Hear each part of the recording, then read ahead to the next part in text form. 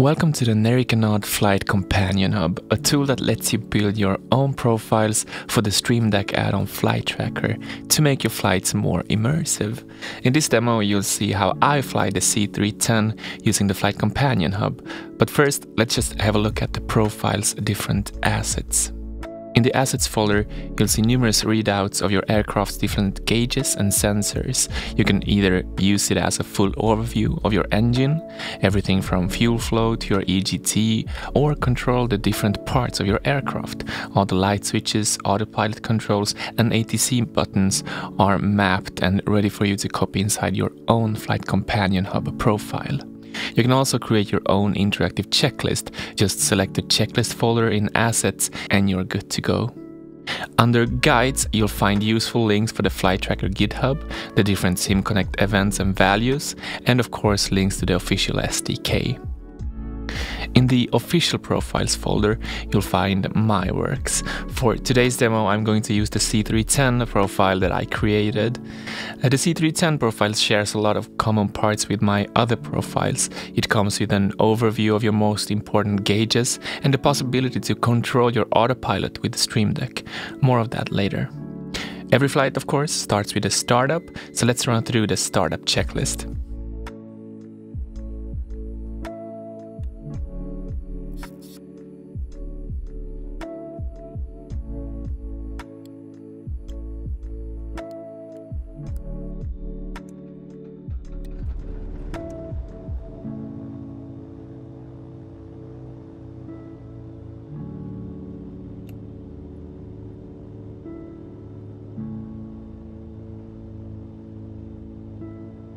In the Engines folder, you'll find a great overview of your aircraft. The manifold pressure is visible here, so is the cylinder head temperature, the prop RPM, oil pressure, and the EGT. You can also fine tune your prop and mixture levers here.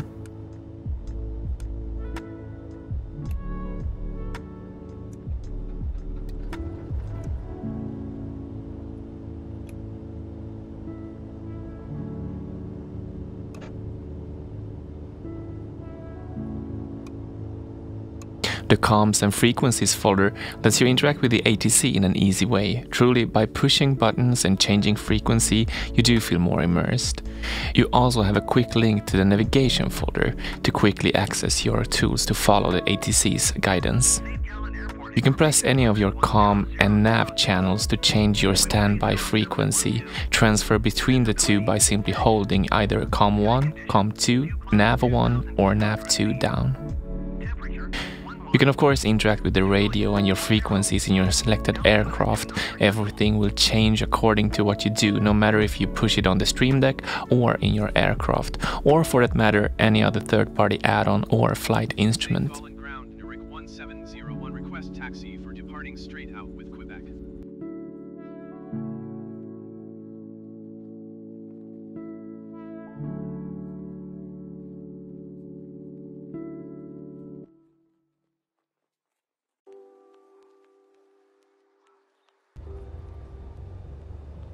As you can see, all the gauges on the Stream Deck are moving, all the readouts are moving according to what's happening in the aircraft.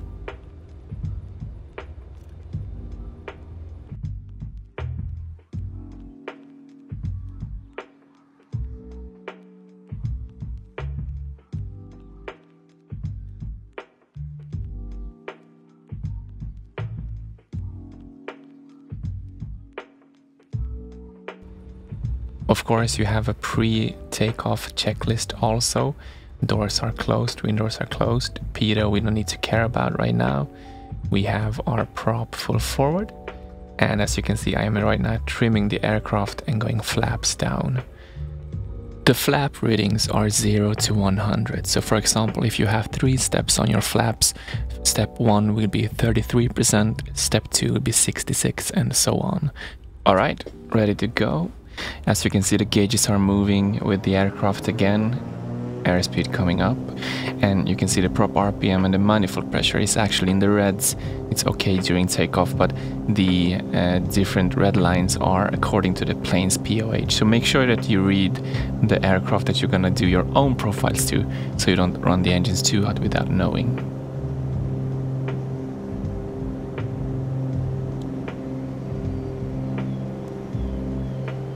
For that 107 climb rate as you can see a number that you can find in the takeoff folder.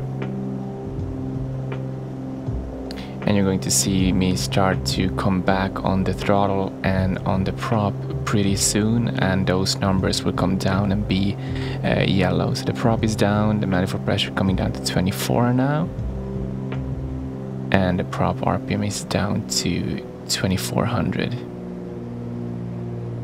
in the autopilot folder, you get your autopilot controls, and these work as you might imagine.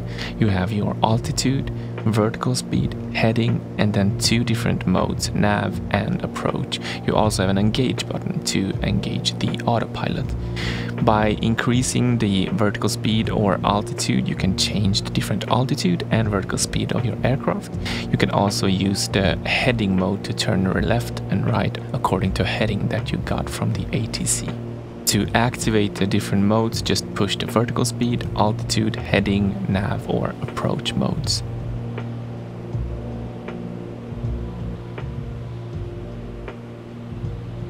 So coming in on approach really shows the strength of the Stream Deck.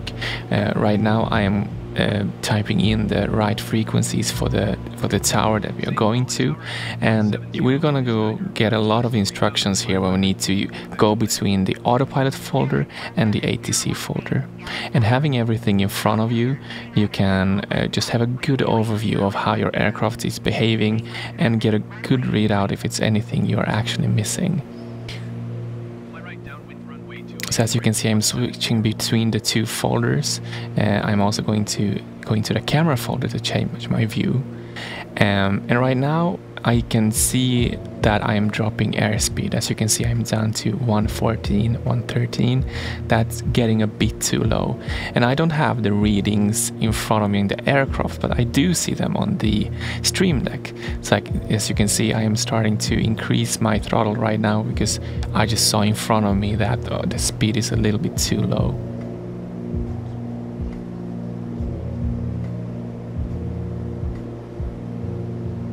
So you have a better overview and it's also a little bit more fun to fly this way because you're actually looking down on your on your you know desk to see different parts of your aircraft and I really enjoy it. This is the uh, landing checklist. So fuel selectors are right, fuel uh, pump is too low, mixture is coming to as required and the props go full forward. I'm a little bit early with all this right now. As you can see, my speed is way too high, so I can't even go to, to the flaps to the uh, right level. But there's a pre-landing um, checklist and also an after-landing checklist that we will do when we get down.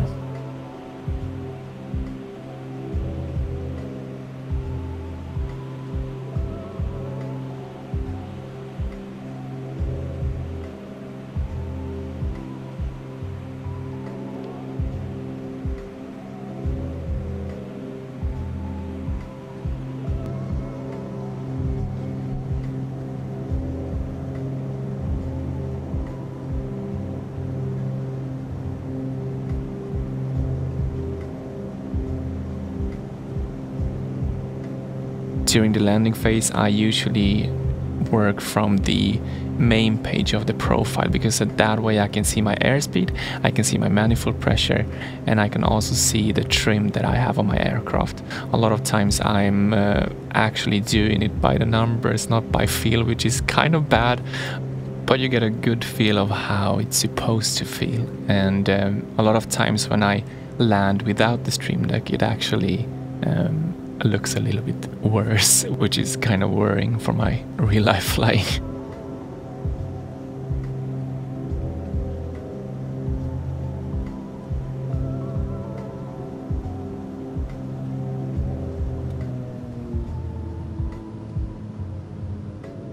There we go, everything's alright. Going into our after landing checklist, flaps are retracted, cowl flaps are open, our fuel pumps are set to low, mixture coming to lean, and we're going to go for landing lights off.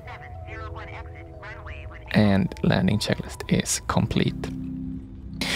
And that's kind of how you fly with the uh, Flight Companion Hub. I really enjoy it. I hope you enjoy it too. And I really hope that you are going to create your own profiles for your favorite planes. I've created a bunch of them, but a lot of people are coming to me with uh, with different um, ideas of what plane I should do it for for the next time. And I've bought a lot of planes just to create this for you guys. So now I just want to give you this tool to let you create whichever profile you want for whatever plane you want. Um, you can of course just Control C, Control V from my profile, but just look at the numbers and see to it that you have the right uh, right numbers before you go out flying. This is the ch uh, shutdown um, checklist. I really enjoy shutting the aircrafts down after a good flight, and I wanted to include a correct um, checklist for the shutdown. Mainly because the C310 also have a safe state, so it actually starts up as you leave it and because of that you of course want to leave it in a in a good state where you know that it will work the next time too anyhow thank you so much for watching this and i hope you'll enjoy the the flight companion hub. There will come a lot of updates. Let me know if there is something you'd like to change. Um, but have fun creating your own profile and uh, let me know where which plane you're creating to. It will be a blast to download them. And uh, if you have questions you'll find me on flightsim.to thank you. Bye